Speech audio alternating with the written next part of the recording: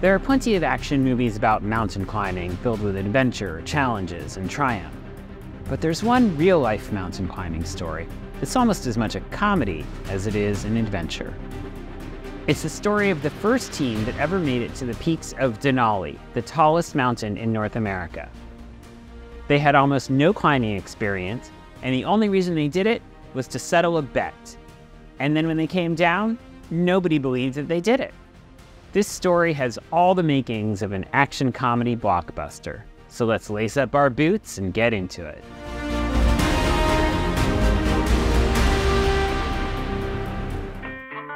Now, you might have learned that Mount McKinley is the tallest mountain in North America.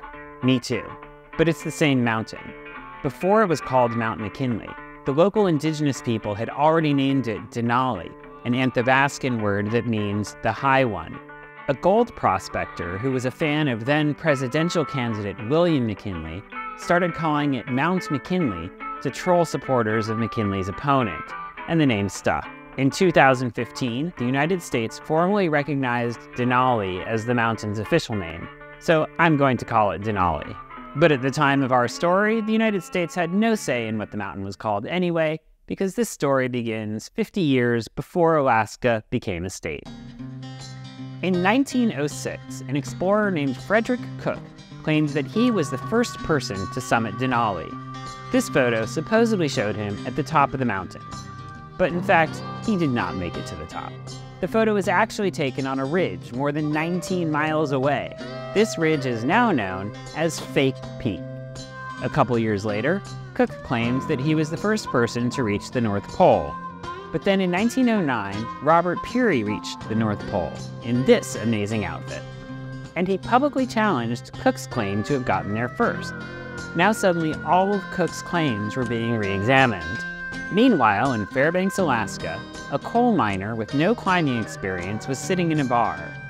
He heard about Cook's claim of summiting Denali, and he was skeptical. His name was Thomas Lloyd, he had been working around Denali for years, and he knew the region well. He boasted that, heck, for someone like him, it would be easier to just climb the mountain than pretend to have climbed it. The bartender, Bill McPhee, says, Tom, you are too old and too fat to climb to the top of Denali. Tom says, I'll bet you two cents I can climb to the top. Bill says, You're on. Furthermore, I'll give you $500 to help.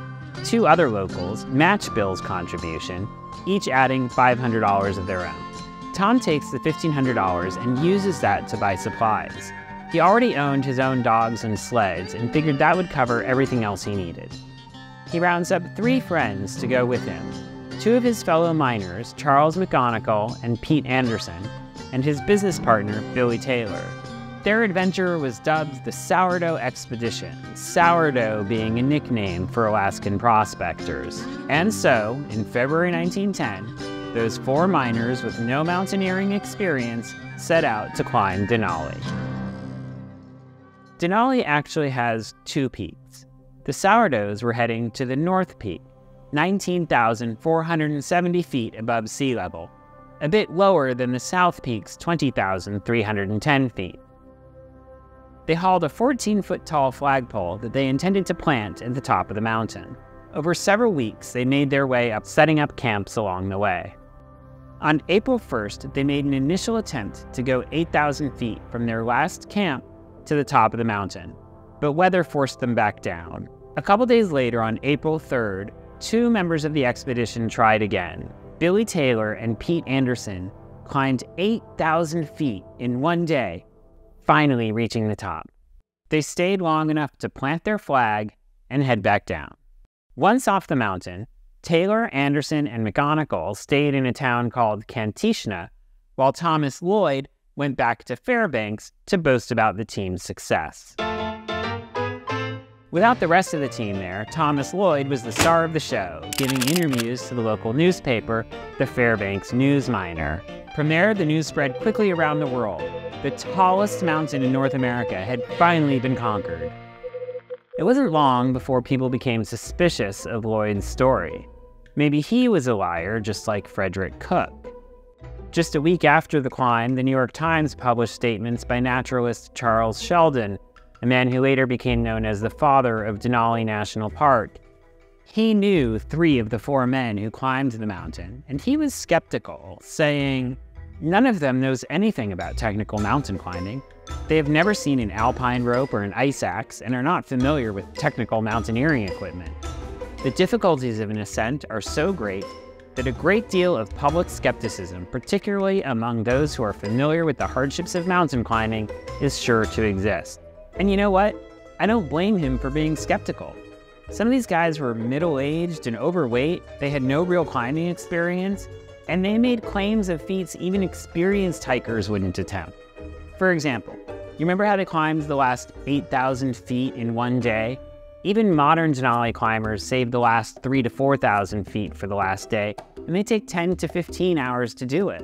Two months later, the New York Times published a three page account of the expedition in Tom Lloyd's own words, including photos, notes from his journal, and transcribed recollections. But instead of just using the opportunity to defend his team's accomplishment, Lloyd embellished his story. He said that he went to the top of the mountain himself, and that they didn't just go to the North Peak, but the South Peak too. In the article, he says incorrectly that the two peaks are of equal height. But if he believed that to be true, then just reaching the North Peak should have been enough to say he reached the top of Denali. So why did he lie? It put the rest of his team in a terrible position of either having to lie also, or admit that at least some aspects of their story should be called into question. It was such a mess that people joked that the mountain shouldn't be called McKinley or Denali, but Mount Denial, which is actually a pretty good name for the movie version of this story. Then in 1913, another expedition went up Denali. Hudson Stuck and Harry Karstens led a four man team all the way up to the south summit of Denali, becoming the first people to truly reach the top of the mountain.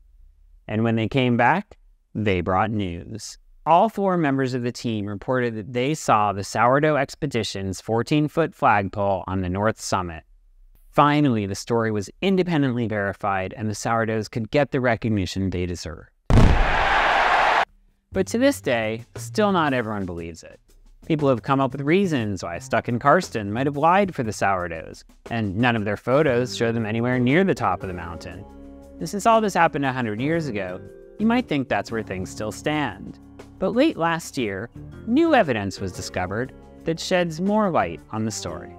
My name's Matthew Sturm. I'm a professor of geophysics, but I also have a very strong interest in Arctic history and Arctic exploration. Dr. Sturm is working on a book about climbing in the Yukon in Alaska. So he went to the University of Alaska Archives to do some research.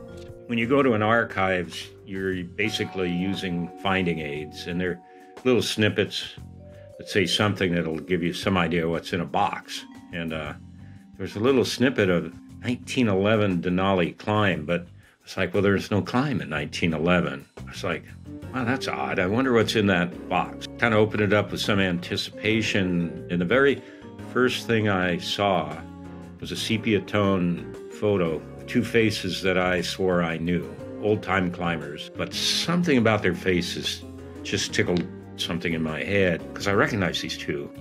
Dr. Sturm took the photo and compared it to other known photos of early ascents of Denali, including the Sourdough expedition.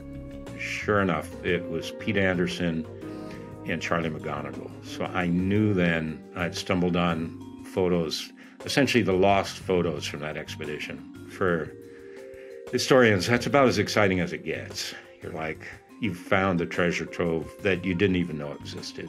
Besides the portrait, there were several landscapes among the photographs. Dr. Sturm used an online tool called Peak Finder to pinpoint where on Denali each one was taken. And slowly with time, I was able to place all of the photos. The highest photo is just under 16,000 feet. Skeptics thought they never got above 11,000 feet. So we added about 5,000 feet to what they climbed. There's always going to be people thinking other things happen, but the new photos move us probably, I think, 90% of the way to validating that they did exactly what they said. Tom Lloyd's story was incredible enough as it was.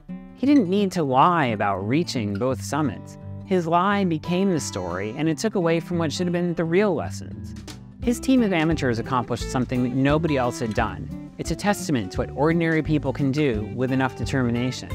But also, sometimes success doesn't have to be about achieving that ultimate goal. It can be about pushing your boundaries and achieving more than you thought possible. And if anyone ever does make a movie out of this story, I hope that's what they focus on as the heart of the film. In the meantime, thanks for watching, and I'll see you on Denali, which is totally a mountain I'm capable of climbing. Wait, hang on before you go, one last thing. I decided to try and experiment with this video. I made a commentary track. It's not a commentary track you can listen to, but a commentary track that you can read in the captions. In order to find it, you have to go back to the beginning of the video and choose Klingon as your caption language. Why Klingon? Because I didn't want it to show up automatically for anyone based on the language of their region, so I had to choose a language that was unlikely that anyone has set as their default caption language, hence Klingon. So check it out, let me know what you think, and if you think I should do it again.